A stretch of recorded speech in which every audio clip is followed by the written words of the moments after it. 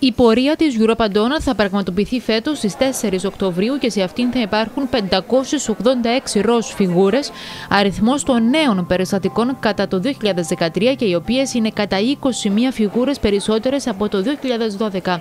Καθώς επίσης 4 γαλάζιες φιγούρες για τα νέα περιστατικά σε άντρε, αυξημένα κατά 2 και 90 άσπρες φιγούρες για θανάτους, οι οποίοι είναι κατά 6 περισσότεροι σε σχέση με την προηγούμενη χρονιά. Όπως ανέφερε σε συνέντευξη τύπου η πρόεδρο της Europa Αντώνα Κύπρους, σε Κυριακίδου φέτος, θα τιμηθούν οι γυναίκες με μεταστατικό καρκίνο μαστού και σύνθημα θα είναι η δημιουργία εξειδικευμένου κέντρου μαστού. Φέτος, περπατούμε διεκδικώντας το δικαίωμα της κάθε γυναίκας για αντιμετώπιση σε έναν εξειδικευμένο κέντρο μαστού. Πού βρισκόμαστε σήμερα, στην πραγματοποίηση αυτού του αιτήματος. Το έργο της Europandona στηρίζει για πέμπτη συνεχή χρονιά η Τράπεζα Πυραιό, η οποία δια του διευθύνοντος συμβούλου της Γιώργου Άπιου καλεί τους πολίτες να υπογράψουν το υπόμνημα που θα ετοιμαστεί με στόχο τη δημιουργία εξειδικευμένου κέντρου. Προωθήστε το microsite το οποίο θα δημιουργηθεί σε όλο τον κόσμο για να μαζέψουμε δεκάδες χιλιάδες υπογραφές.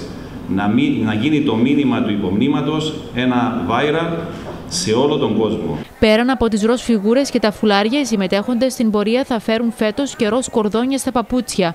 Ενώ, όπως αναφέρθηκε στη συνέντευξη τύπου, στις 15 Οκτωβρίου θα διανεμηθεί και ενημερωτικό υλικό στο κοινό.